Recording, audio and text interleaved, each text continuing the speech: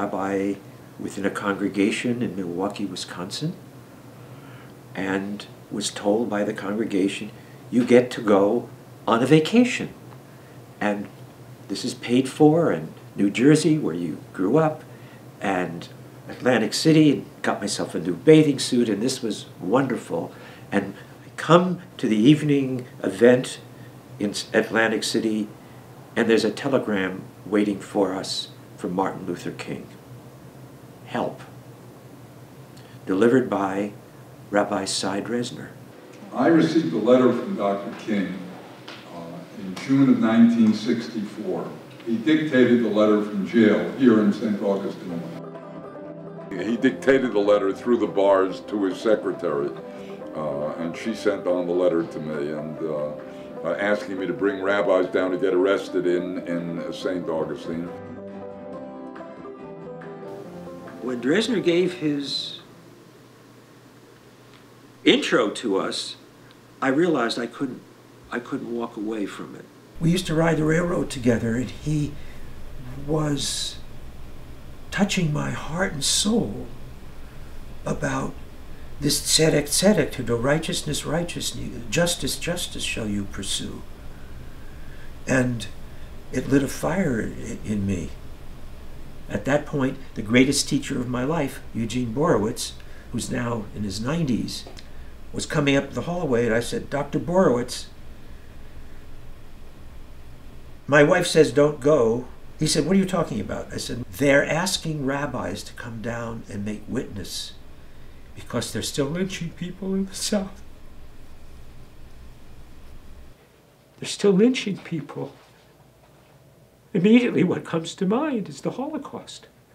This is. This can't be. This can't be happening. This can't be happening in America! Are you crazy?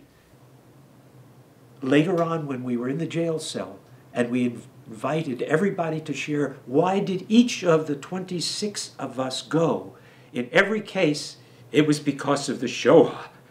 What was done to our people, we cannot allow to be done to other people in our country after the Holocaust. Absolutely not.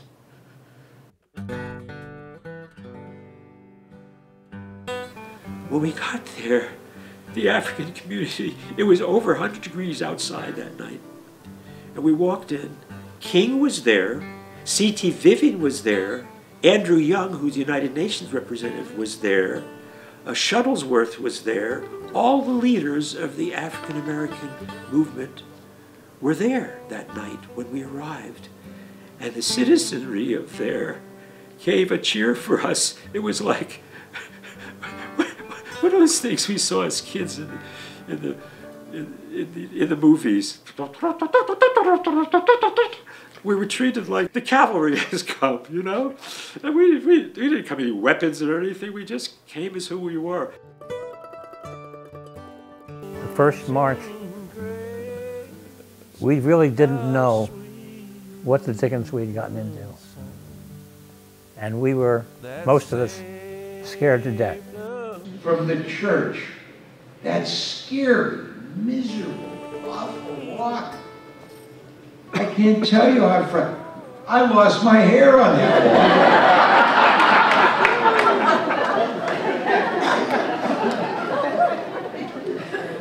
Holding a young black girl's hand and walking for a couple of hours, the scariest two hours of my lifetime because we were told there had been shooting and the National Guard, we had no idea, most of them we were sure were segregationists and would shoot us if they got a chance. But we did it. That saved us. The Monson came into it. We had a demonstration of blacks and whites. It was like a Hollywood movie. And while we were demonstrating, four black kids in swimsuits climbed over the fence and jumped into the pool. They started arresting people for creating a public disturbance. But in terms of the arrest part, we had all pledged that we would go for the arrest and we would be nonviolent. Nonviolence is the other side of violence. And that part of the purpose of a nonviolence, is both a philosophy and a strategy. Uh, and that it, it, it knows that it will provoke violence and that that will increase the uh, credibility of those who are nonviolent. We knew that, that the sheriff uh, was himself a Klan member and that they were all very close with the Klan. And I remember this moment, and the sheriff would come and take, I think it was like two at a time or four at a time. Secher and I, we were standing in, in twos, twosomes, and I said, at some point, we're going to be next. This feels like it must have felt during the Holocaust.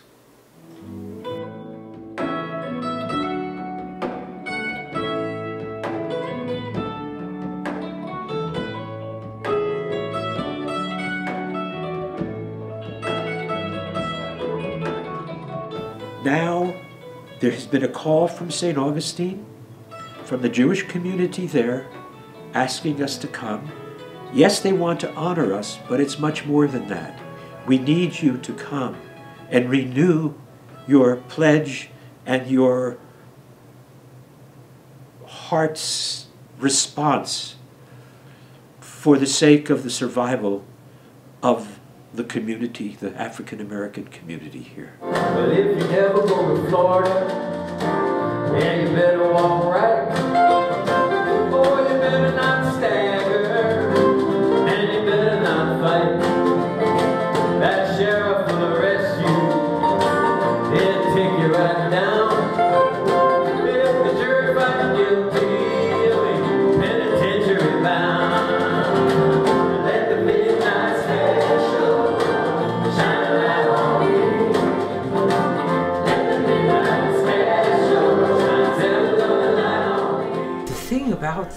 that concert that happened in order to raise the money for us to go. These singers came forth who refused to take any money. It was an amazing performance and the most sacred moment of the whole concert. And there, it was a sacred concert. It really, really was. When the African American woman who plays drums said, I've never done this publicly before, but I want to sing for you. Amazing Grace, and she sang it four times. And I was weeping, not out of sadness, but out of ecstasy. I once was lost, but now I'm found. I was blind, but now.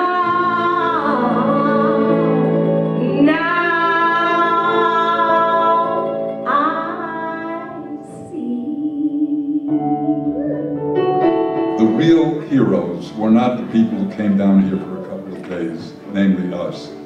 The real heroes were the people who fought the battle day and night, week after week, month after month, year after year. You know, I don't go to celebrations. I, I never go back to Selma. I don't go to Birmingham. But I had to come here. And it was because of these guys here.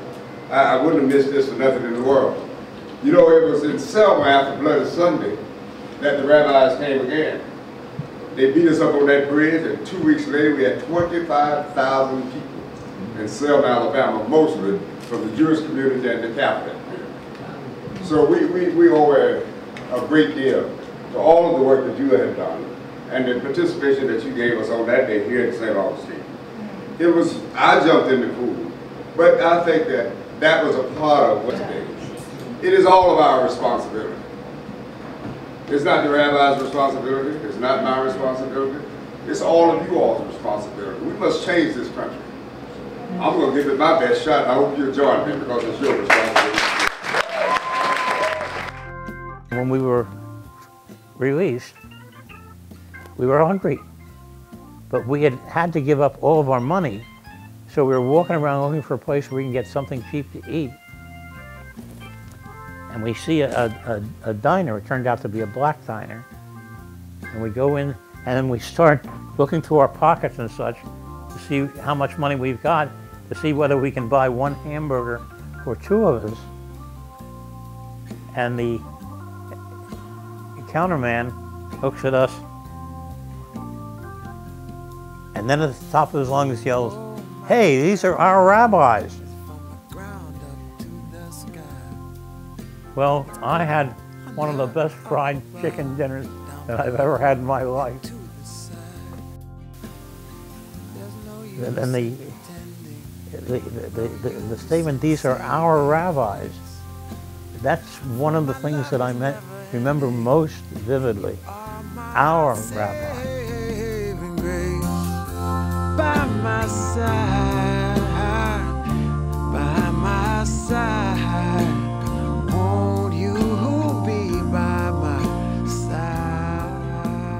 And Martin Luther King said to Rabbi, to the rabbi, Sy Dresner, I look forward to the day when my African American brothers and sisters can take the pride in their beginning as a slave people, just as you Jews do with your beginning as an enslaved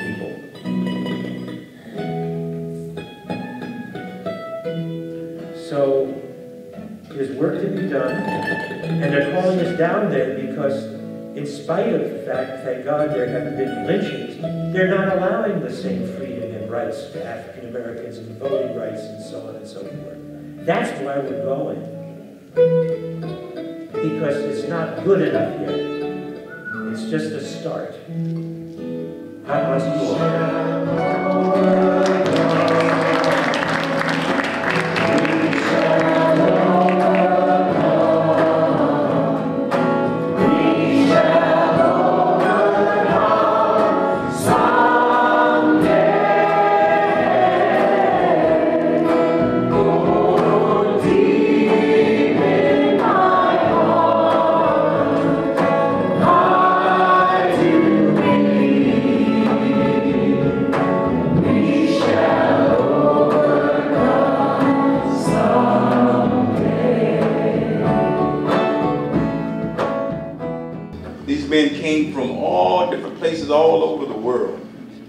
And they came for a purpose. They came because it was something inside of them that said, I, I can't stay. I have to go in and use whatever privilege I have, whatever influence I have to go and let people know that you're not alone. Things were said this time that weren't said 50 years ago. The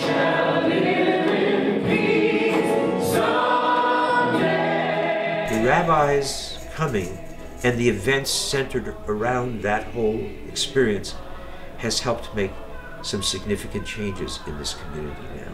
To hear that is the greatest gift from God.